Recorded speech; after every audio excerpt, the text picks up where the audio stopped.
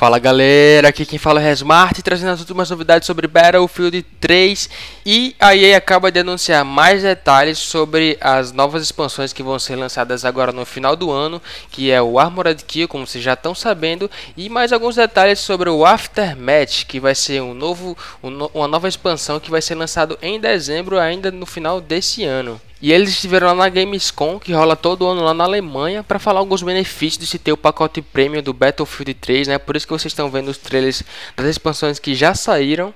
E nesse trecho do trailer a gente começa a ver os detalhes da DLC Armored Kill E como vocês já sabem, esse mapa aí já foi mostrado na atualização anterior E vai se chamar Albos Mountain, que é um mapa de neve, obviamente e nessa próxima cena a gente já pode ver aí o novo mapa que já foi anunciado como Death Valley, que obviamente é um vale que fica entre montanhas. E a novidade é que ele vai ser de noite. Até então, de mapas noturnos, nós só temos o Terran Highway, eu vou arriscar que se fala assim, então fica aí também essa novidade. E agora vocês veem o Armored Shield, que é um dos quatro novos mapas anunciados, e mais um pouquinho do já tão falado Bandar Desert, que vai ser o maior mapa de toda a história do Battle Battlefield já criado. E nessa parte a gente pode ver alguns trechos de ação no mapa Death Valley e nessa imagem a gente pode observar duas coisas interessantes. E a primeira é a presença do avião AC-130 que também está confirmado para esse mapa e a segunda é que você observa ali no canto esquerdo que tem sete bandeiras. Então como foi prometido, não só o Bandar Desert, mas como os outros novos mapas também serão igualmente grandes. E aqui a gente pode ver um dos novos veículos que é a artilharia móvel. E eu falei na análise anterior que esse veículo poderia ser comandado por duas pessoas, mas eu andei lendo algumas informações e ao que tudo indica só vai ser possível uma pessoa pilotar esse veículo. Então nesse caso, para tirar ele teria que trocar para a posição de artilharia e não poderia dirigir enquanto usa artilharia. Observe também que nesse mapa teremos a presença dos helicópteros de escolta, mas ainda não foi confirmada a presença dos helicópteros de ataque.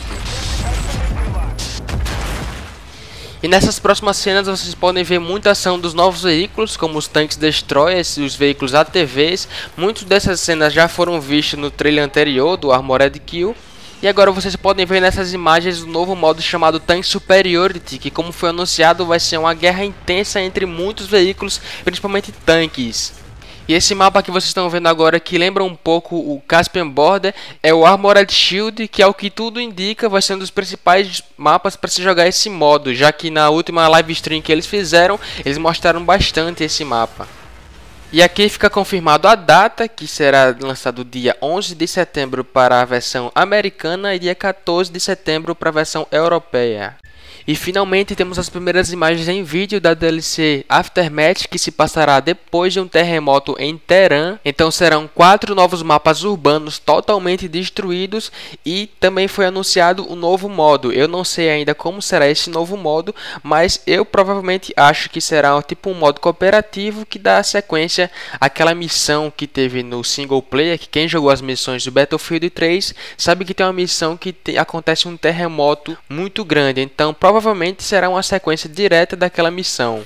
Mas isso é só um chute e especulação da minha parte, não foi nada dito ainda sobre esse modo, é só um chute mesmo. E mas o que foi realmente confirmado que também terá novas armas, novos assignments e novas dog tags. E uma coisa legal que também foi dita na conferência, que os jogadores não terão apenas acesso a veículos militares, como também veículos civis, ou seja, carros comuns, quem sabe também motos. Essa DLC está confirmada para dezembro de 2012, mas ainda não foi dito a data em específico. E agora nesse pequeno trecho da conferência da E3 na Gamescom, foi apresentado a última expansão anunciada, que se chamará Endgame. E a única coisa que foi dita é que terá motos e velocidade. E essa DLC será lançada em março de 2013. E é claro, eu vou deixar ambos os links aí para vocês conferirem o trailer completo na íntegra e também o vídeo da conferência, né? Se vocês quiserem dar uma olhada nos outros jogos que também foram anunciados na conferência da Gamescom. E não se esqueça de avaliar esse vídeo dando um gostei e também favoritando para ajudar na divulgação. Se você tem alguma coisa para acrescentar, deixe o seu comentário e se você ainda não for inscrito, é só clicar no botão de se inscrever aí em cima para receber mais vídeos como esse.